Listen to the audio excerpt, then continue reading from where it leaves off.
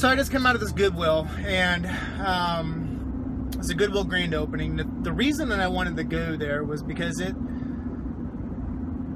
you can guarantee going into this place that you know nobody has scoured the shelves. You don't have that one guy that's there at opening or whatever that doesn't have a job or whatever.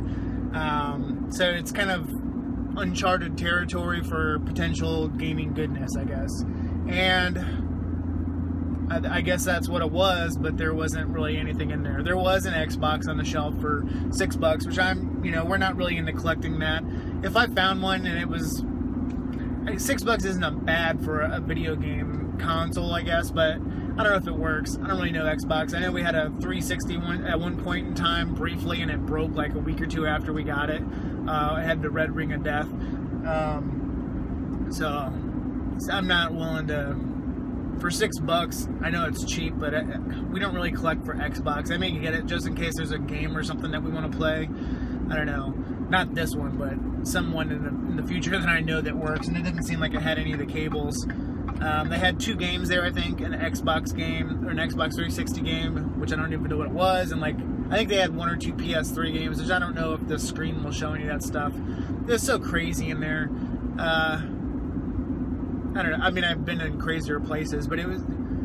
I was probably a hundred. I don't know, maybe 50 people back in line, 100 people back in line, and the line was wrapping almost like a second time around the building. And uh, I was only in line for about 15 minutes, which isn't long, you know. And they had a Goodwill guy mascot standing out there, and they were giving away free totes. Woohoo! Yay!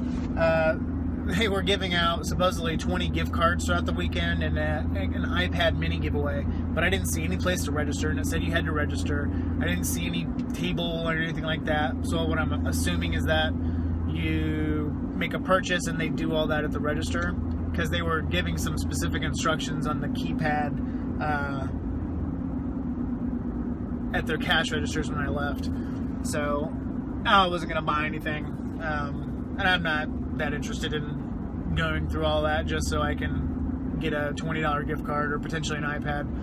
Anyway, they, uh, you know, people went in and just started grabbing stuff. I mean, they didn't really look look at what it was. It was like I just saw people walking down the aisles and grabbing things and throwing them in their cart without even really looking at what they were, which I guess that's one way to do it. You know, yeah you just start grabbing anything that potentially looks good, and then you go through your cart after you have everything, figure out what's in there, what you want to keep or whatever, and then go put it back. I guess that's one way to do it, um, and maybe a smart way to do it. I don't know, but it wasn't like there was incredible prices or any great treasures to be had. It took me a minute to find their DVD section. It wasn't very big. The actual Goodwill itself was pretty big, and it was nice to be to go into one of those stores and not have it smell like you know, Yeti bunghole.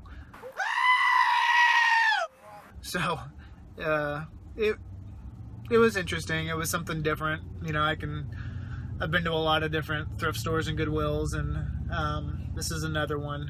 Uh, I kind of chalk it up there with the outlet Goodwill, which uh, it's an interesting experience to go in. Don't know if I'll be shopping in there a whole lot or ever again uh, unless it's to take somebody there so that they can experience what it's like, or unless they have some huge amount of stuff that's coming into one and I find out about, or I move to an area that that's all they have. That would be the only reasons I would go into those things again, I think. Uh, and again, nothing special about this. They had all their suits and their VIP people there. Um, I mean, there was a slew of people in suits going in and out. Um, probably, I mean, like 30 or 40 people, I would say uh, in suits walking in and out. And uh, I would think that if it was a little more of a charity type thing, I don't know. Maybe I wouldn't see that.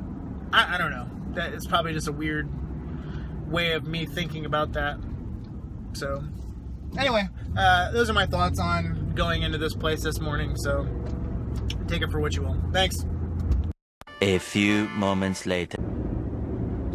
All right, so I just had another thought uh, here as I'm driving back um, about this Goodwill experience I just did, and I may splice this in here uh, at some point in time. You know, what's weird about the Goodwills is you go into these places and they smell horrible generally, or they have that just Goodwill smell, um, and you always attribute it to the uh, the junk that's in there that's been sitting in moldy garages and cupboards and cabinets and stuff like that. And it probably is. But while I'm standing there in line and everybody's jam packed in this line, really close, because the line's getting really big, the guy behind me, and he's there with his family, I mean, he farts incredibly loudly.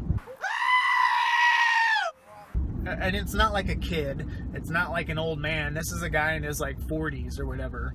And he didn't care. Nobody said anything. Everybody was just kind of going about their way. And maybe I'm uptight. I don't know. But it's, I came from a family. It's like, you don't, if you're in a huge group of people like that, you don't fart incredibly loud. So half the line can hear it and just act like nothing happened, you know? And maybe that's what you know the people when we go into these things maybe maybe it's the people that's destroying these things. I've seen people walk into goodwills before that you you know had like crap. They had crap their pants. They have crap their pants and they're walking into goodwills. Not this one but a different one.